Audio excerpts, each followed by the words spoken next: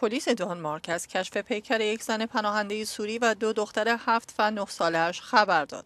این زن که 27 سال دارد به همراه دو دختر خردسال خود با ضربات چاقو به قتل رسیده و پلیس احتمال می‌دهد عامل این قتل پدر این خانواده باشد. این خانواده سوری سال گذشته به دانمارک رسیده بودند.